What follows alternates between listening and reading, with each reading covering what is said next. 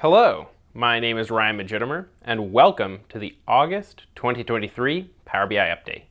Got a lot of exciting updates for you for this month. If you want to see all of the updates, all sorts of screenshots, links to docs, other blogs, all that cool stuff, I highly recommend you check out the blog. You can find a link in the description of this video. In addition to that, keep watching until the end of the video for the Community Member Spotlight. If you're not familiar with the Power BI community, I highly recommend you check it out. You can find it at aka.ms whack Power BI community. Also, if you want to know about the whole community that is Fabric, I highly recommend you check out the Fabric community all up. You can find that at, unsurprisingly, aka.ms whack Fabric community. Without further ado, let's get into it. Starting with reporting, we've got the new layout switcher. We've added new buttons that make it easy for you to quickly switch between web and mobile layouts while you're developing your reports. You'll find the new switcher buttons down at the bottom of the screen, right next to the page navigator. Moving on to the new bubble range scaling setting, we are introducing the new bubble range scaling setting for scatter chart and map visuals. This setting gives report creators more control over how the bubble marker sizes respond to data, making it more accurate or distinctive based on your preference. With the magnitude option, the bubble areas closely follow the data proportions. With the data range option, the bubble size limits are mapped to data minimum and maximum. The auto option, which is the default setting for new reports, selects the appropriate option based on data characteristics. For more information, visit our docs. This setting can be adjusted in the formatting panel if you go to Markers, shape, and range scaling for scatter charts, or bubbles, size, range scaling for maps. For reports authored in earlier Power BI versions, these settings default to deprecated for scatter charts, which differs in the handling of negative values, and data range for map charts. Azure Maps charts will also include this feature in an upcoming product update. We've got some updates to the new on-object interaction feature. First is resizing and positioning to the on-object menus. We've now added the ability to resize the on-object menus horizontally. This is especially helpful when you're working with long field names. We've also improved the positioning of the on-object menus to make better use of the canvas space. Previously, when a visual was near the bottom of the canvas, the on-object menu was super small and required scrolling to be able to see and use the field wells. Now, the on-object menu moves up and stretches into the canvas to bring the field wells into view without needing to scroll. Also, on-object format subselections now support, are now supported in Spotlight and Focus mode. When spotlighting a visual or expanding the visual in focus mode, you can now use on-object formatting to subselect and format styles. In focus mode, it can be hard to tell when you've entered format mode with just the subtle border. To address this, we've added a new button to the header to better indicate when you're in format mode and how to exit format mode while staying in focus mode. Moving on to modeling, First, we've got an update to the order by function. There are blanks in the data, you can specify where to order them by adding blanks last or blanks first. You can specify how blanks are handled is optional and can be combined with specifying the order direction, descending or ascending. Valid values include blanks default. This is the default value. The behavior for numerical values is blank values are ordered between 0 and negative values. The behavior for strings is blank values are ordered before all strings, including empty strings. Blanks first. Blanks are always ordered on the beginning, regardless of ascending or descending sorting order. And blanks last. Blanks are always ordered on the end, regardless of ascending or descending sorting order. For data connectivity, first up is the new modern data connectivity and discovery experience in data flows. We are excited to introduce the new data connectivity and discovery experience in Dataflow, Dataflow Gen 2, and Datamart. Today, users spend a lot of time finding the right data, the right connection info, and credentials. With the new Get Data experience, we make it easy to browse different Fabric artifacts through the OneLake Data Hub. This improvement aims to expedite this process and get you closer to the data that you're looking for in the quickest way possible. Onto the Lakehouse's connector, we've got an update. This update includes significant performance improvements to Lakehouse connectors, or to the Lakehouse's connector, I should say. Be sure to update to the August version of the Power BI desktop app and gateway to experience these improvements. In service this month, we've got XMLA write support for Direct Lake datasets. We're excited to announce that the Direct Lake datasets now support XMLA write operations. Now you can use your favorite BI Pro tools and scripts to create and manage Direct Lake database, datasets. Whether you prefer SQL Server Management Studio, SSMS, Tabular Editor, DAX Studio, or something else, you can connect to your Direct Lake datasets using XMLA endpoints and perform operations such as deploying, customizing, merging, scripting, debugging, and testing.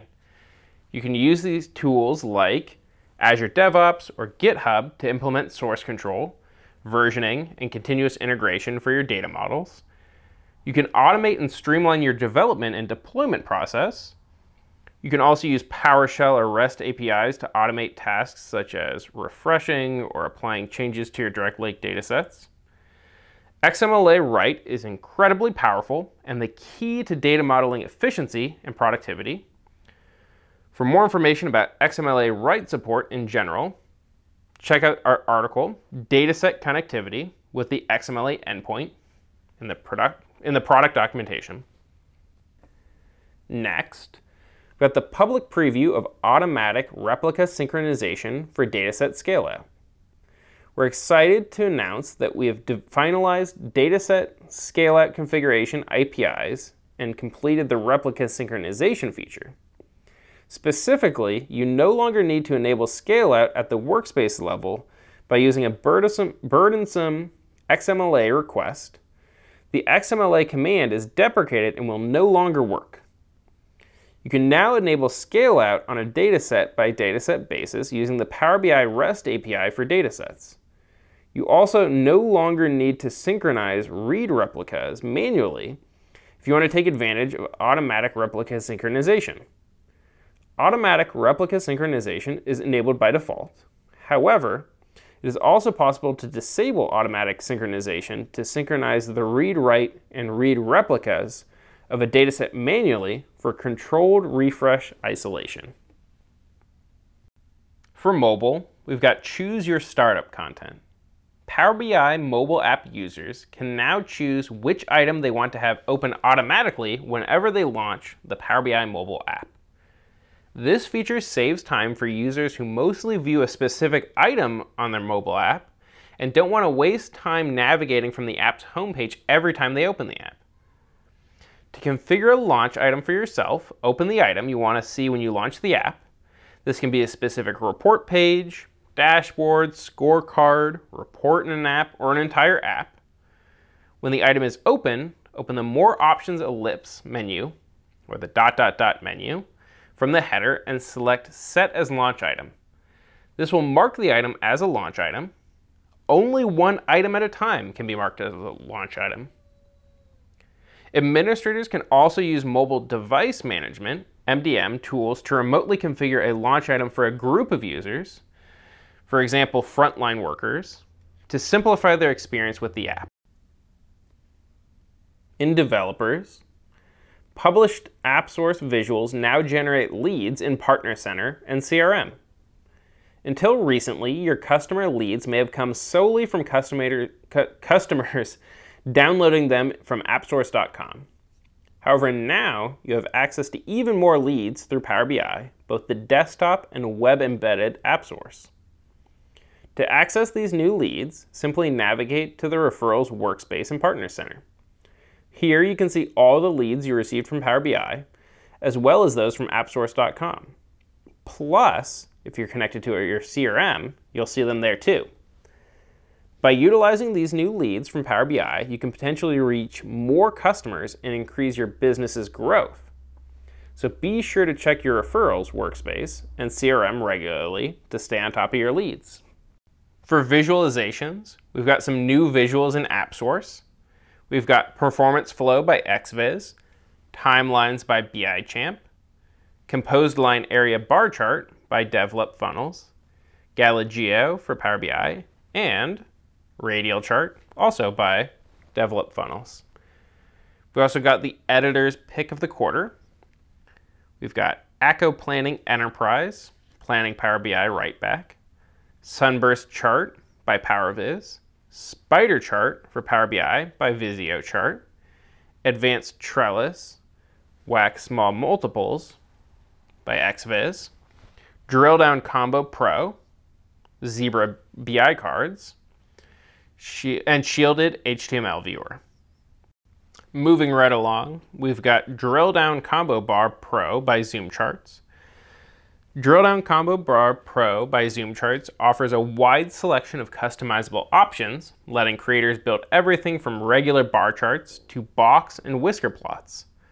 This visual also offers powerful cross-chart filtering capabilities combined with intuitive on-chart interactions. Next, we've got Sunburst Chart by PowerViz. We're thrilled to present the new Sun, or they're thrilled to pre present the new Sunburst chart by PowerViz, a powerful visualization designed to display hierarchical data in a user-friendly and intuitive format. With its concentric circle design, you can easily display part-to-whole relationships and gain valuable insights from your data.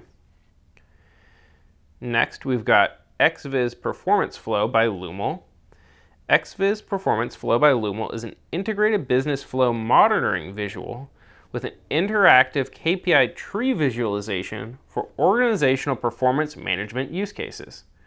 It offers insights into people, places, processes, and entities with performance indicators, trend lines, and advanced alerting on goals, metrics, and their variances. And now we've made it to the community member spotlight. Each month, we highlight a specific, one and only specific community member from the Power BI community who's gone above and beyond this month. And this month is parry2k. I'm sure lots of people already know who that is, but if you're unfamiliar, he has been contributing since 2015. He's contributed to the Synapse webinars and video gallery. He's a super user, and that when I say the Synapse webinars and video gallery, I mean, of course, in the larger Fabric community. He has over 3,000 solutions author, authored, as well as over 4,000 kudos received. So a big pat on the back and high five to parry2k. The question is, who will be in the spotlight next month? Only time will tell. But for sure, if you want to be in the running, head over to the Power BI community, aka.ms whack Power BI community. well, that's all we have for you for this month. Uh, let us know in the comments. Do you like these videos, the direction we're going? Are there other changes you'd like? Any feedback, positive or negative, I would love to hear about it. And with that, like, comment, subscribe. Thanks for watching, and we'll catch you on the next one.